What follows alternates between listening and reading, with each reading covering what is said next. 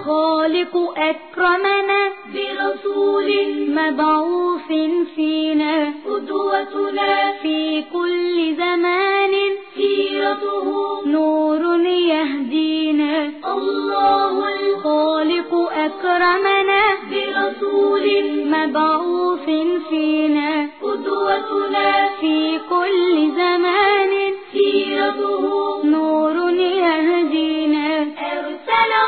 الله إلى قوم جعلوا الأصنام لهم دينا فانتصر عليهم بإيمان Merhaba sevgili çocuklar. Sizlere anlatacağım bugünkü hikaye Hazreti İmam Rıza'nın hayatı olacak. Rahman ve Rahim olan Allah'ın adıyla.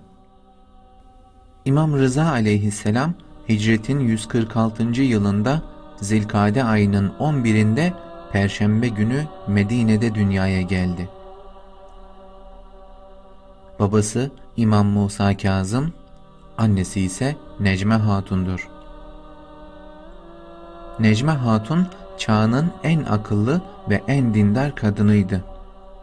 İmam Rıza aleyhisselam dünyaya geldiği zaman İmam Musa Kazım eşinin odasına girerek ''Ey Necme'' buyurdu. Rabbimin sana verdiği bu üstünlükten dolayı kutlarım seni.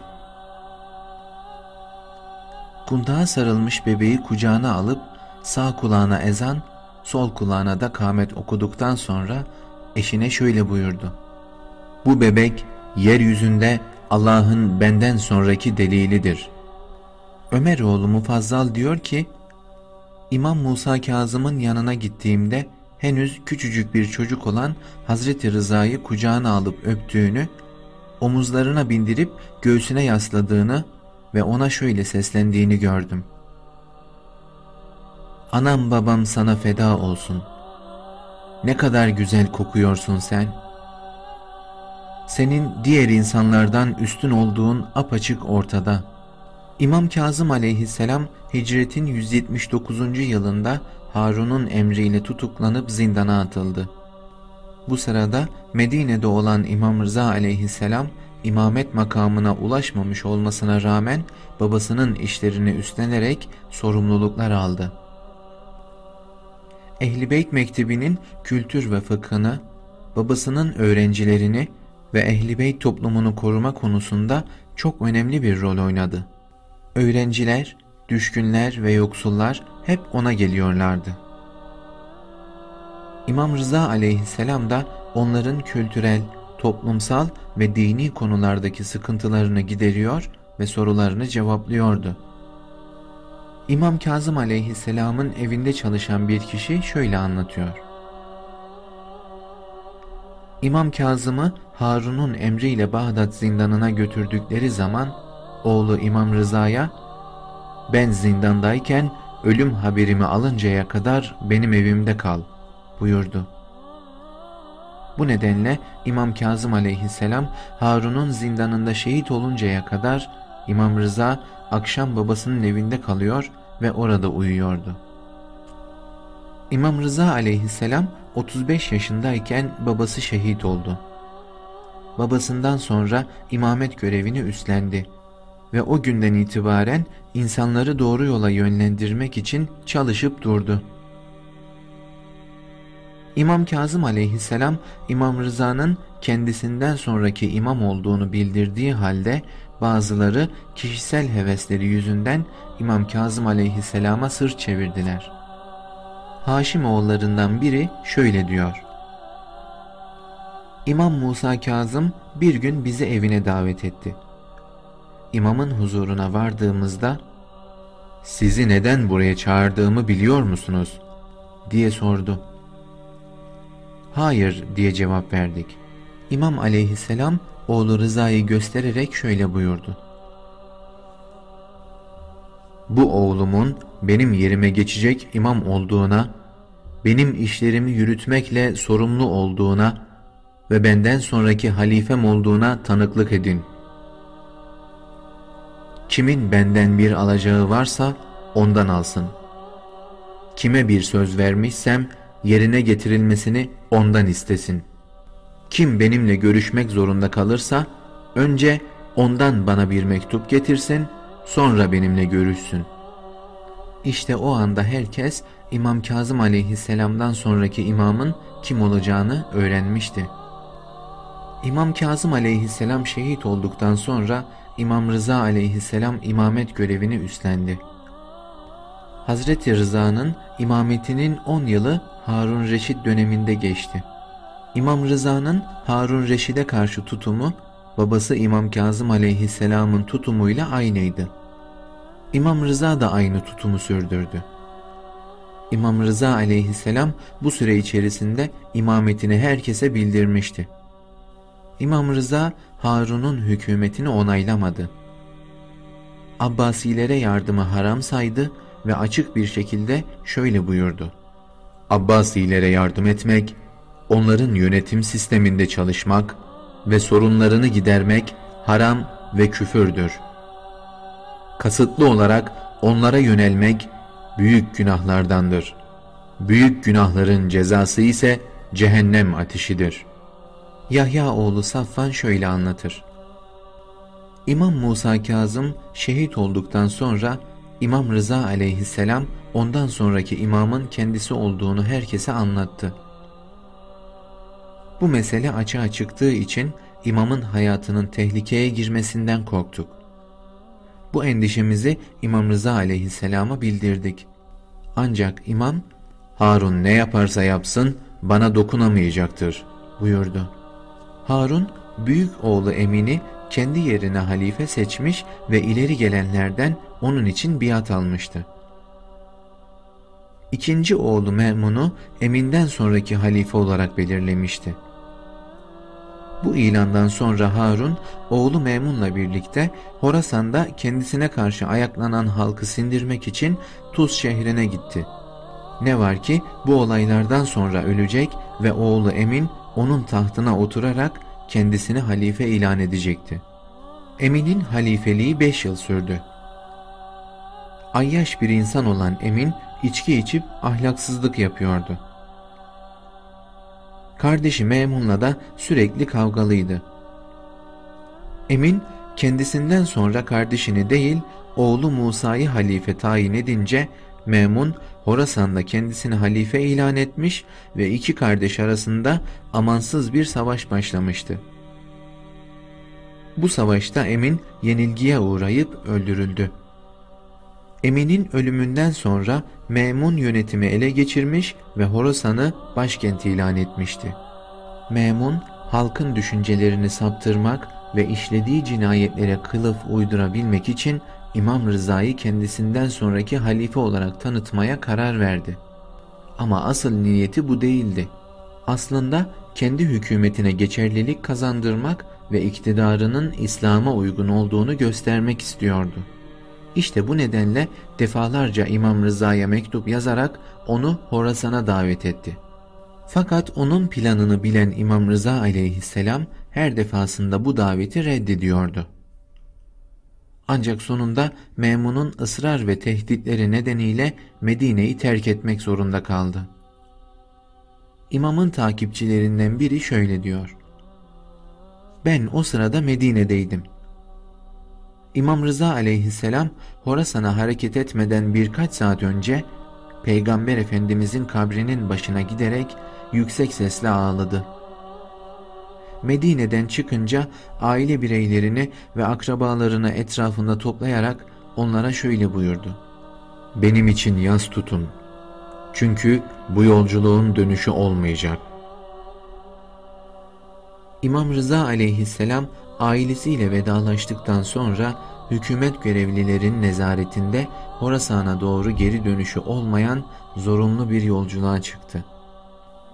İmam Rıza aleyhisselam ailesiyle vedalaştıktan sonra hükümet görevlilerinin nezaretinde Horasan'a doğru geri dönüşü olmayan zorunlu bir yolculuğa çıktı. İmam Rıza Horasan bölgesindeki Merv şehrine girdiğinde Memun beraberindekilerle birlikte imamı karşıladı. Birkaç gün sonra Memun İmam Rıza'ya şöyle dedi. Ey Allah Resulü'nün oğlu! Ben sizin ilminizi, kemalinizi takvanızı ve ibadetinizi çok iyi biliyor ve hilafete benden daha layık olduğunuza inanıyorum. İmam Rıza aleyhisselam, ben sadece Allah'a kul olmakla övünüyor, dünyadan sakınıyor, dünyanın zarar verici şeylerinden kurtulmayı umuyorum. Takvalı olmaya, günahlardan sakınarak kurtuluşa ermeye ve Rabbimin rızasını elde etmeye çalışıyorum buyurdu. Memun, ben kendimi hilafetten azledip bu makamı size bırakmaya karar verdim, dedi. İmam Rıza aleyhisselam şöyle buyurdu. Bu makam senin ise ve onu Allah sana vermişse, Allah'ın senin üzerine yüklediği bir sorumluluğu başkasına yüklemen doğru değildir. Eğer hilafet senin hakkın değilse, o zaman da zaten senin olmayan bir şeyi bana vermen doğru olmaz. Tuzaklarında başarısız olan Meymun, İmam Rıza'ya, benim halifem ol, benden sonra yönetime sen geç, dedi. İmam Rıza aleyhisselam ise, Allah'a andolsun ki, beni yarattığı andan itibaren yalan söylemiş değilim ve takvayı dünya için edinmiş biri de değilim. Bütün bunları neden yaptığını da biliyorum. Buyurdular. Memun nedeni sizce ne olabilir diye sorunca Doğruyu söylersem alınmaz mısın? buyurdu. Memun alınmam söyleyin dedi. Bunun üzerine İmam Rıza aleyhisselam şöyle buyurdu. Sen insanların İmam Rıza dünyadan ve dünyalıktan kaçmadı. Dünya ve dünyalık ondan kaçtı. Baksanıza, Memun'dan sonra halife olmayı planlıyormuş demelerini istiyorsun. Memun, İmam Rıza'nın her şeyi bildiğini görünce öfkeyle bağırdı. Sen hep bana karşısın.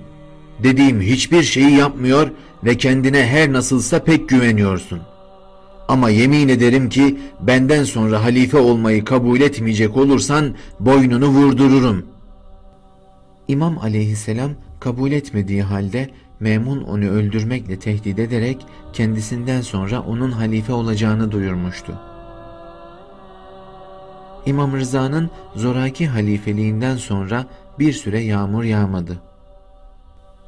Memun'un yardakçıları, İmam Rıza'nın yüzünden yağmur yağmıyor dediler. Memun, imamdan yağmur için dua etmesini isteyince İmam Rıza aleyhisselam şöyle buyurdu. Dün gece rüyamda Allah Resulü'nü gördüm. İmam Ali ile birlikte yanıma gelerek, Oğul, pazartesi gününe kadar sabret ve o gün Allah'tan yağmur yağdırmasını iste. Allah yağmur yağdıracak ve insanlar senin Allah katında ne kadar yüce bir makama sahip olduğunu anlayacaklar. Pazartesi günü gelip çatmıştı.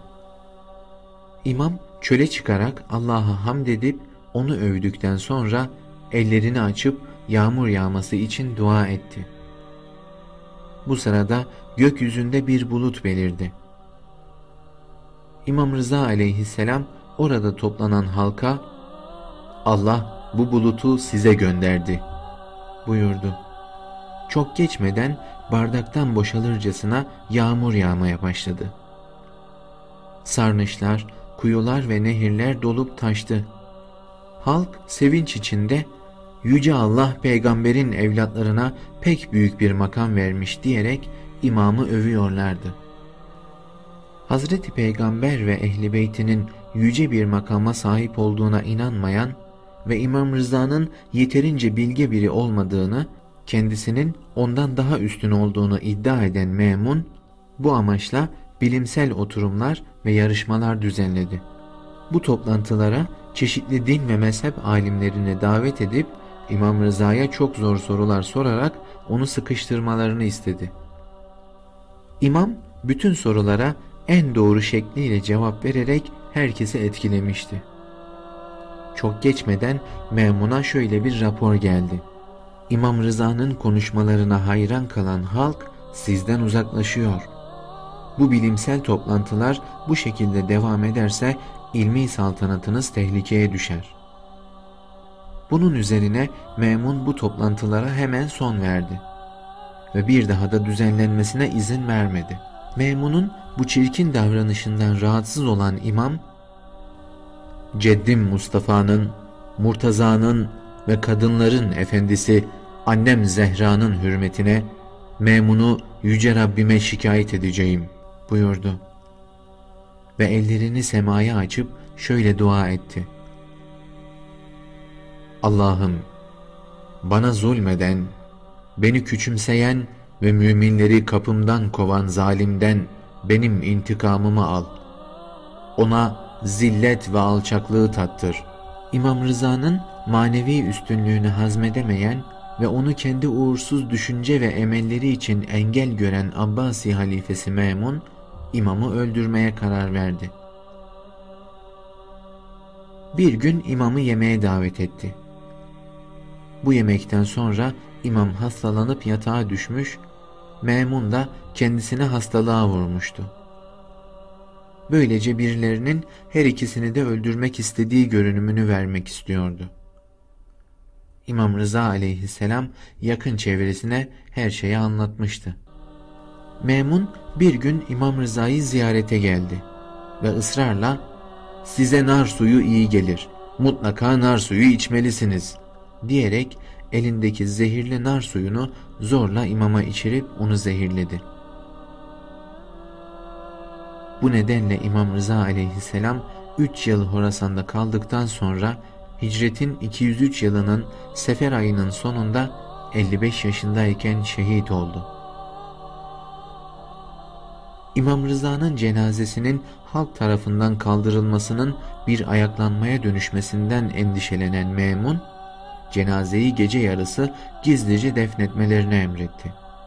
İmam Rıza'nın mübarek kabirleri İran'ın Meşhed şehrindedir. İmam Rıza aleyhisselam buyuruyorlar ki, Susmak, hikmet kapılarından bir kapıdır. Susmak, muhabbete sebep olur ve insanı iyiliğe yönlendirir. Namaz, ilk vakitte kılınmalıdır. Cemaatle kılınan her rekat, tek başına kılınan iki bin rekata bedeldir. Cimri insan rahat, kıskanç insan huzurlu, çabuk usanan kimse vefalı, yalancı da yiğit olamaz. Hediye, kalplerden kinleri giderir. Kendini insanlara sevdirmek, aklın yarısıdır. Bugünkü hikayemiz bu kadar çocuklar. Bir sonraki hikayemize kadar Kendinize iyi bakın. الله الخالق أكرمنا برسول مبعوث فينا قدوتنا في كل زمان سيرته نور يهدينا الله الخالق أكرمنا برسول مبعوث فينا قدوتنا في كل زمان سيرته الله إلى قوم